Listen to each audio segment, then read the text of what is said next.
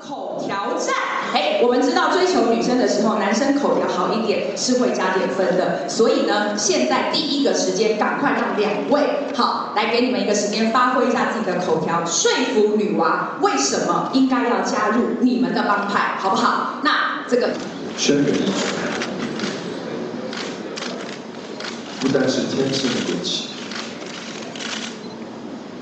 更是无人见地的刀法。剑术上更是无人能敌。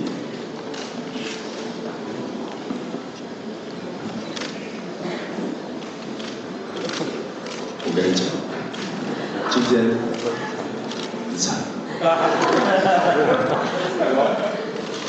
因为我的剑术上是我的刀法。掌声鼓励一下，这位非常酷。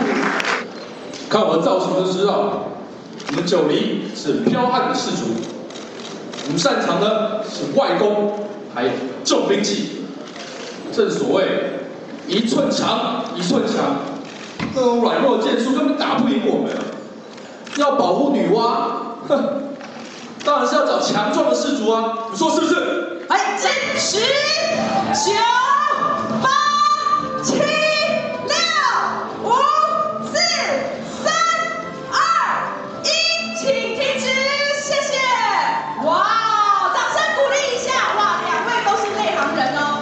请开始。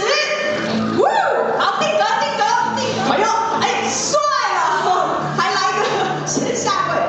嘿，好，哇，也是一样，非常轻松的就到。好难决定哦，因为。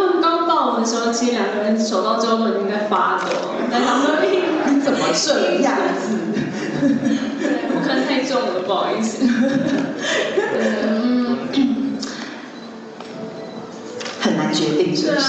决定，真的哈。在口条上，你觉得两位有没有什么不同的特色？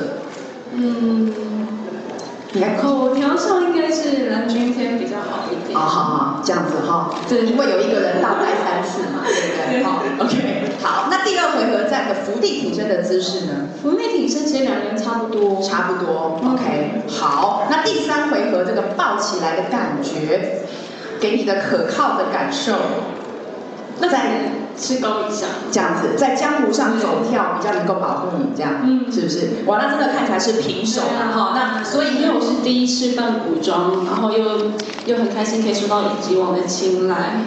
然后就身为一个新人的我，然后加入演艺圈，可以收到这么大的一次代言活动，觉得很开心，所以我会好好帮他们宣传，所以加入女娲吧。其实第一次扮古装是蛮有蛮有特别的，我觉得关谷呃穿呃古装这个型造型，对，呃可以穿好看，真的是很难。其实是觉得觉得穿得出来，真的是有一个气质，嗯，不错，感觉。所以基本上你在夸奖了自己一番嘛，是不是？说大家大家 OK，那担任活动大使有没有什么样的感想要跟大家分享的？呃，其实我 online game 也有玩过，嗯，之前有玩过天堂。那我其实对中国中中呃传统中文比较不熟悉，是，又是呃从国外回来，但是我呃其实这个对这个很有兴趣，所以将来可以继续玩。好，加油！一定要帮你的轩辕一族拉个票。是。